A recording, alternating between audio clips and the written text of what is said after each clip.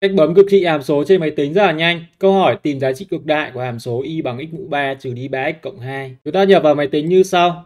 Menu 923 nhập lần lượt hệ số của hàm bậc 3 vào là 1 bằng 0 bằng, âm 3 bằng và 2 bằng. Chúng ta bấm bằng vài lần để bỏ qua nghiệm và tìm được đến giá trị cực đại của hàm số y bằng 4 và chúng ta chọn được đáp án chính là đáp án B.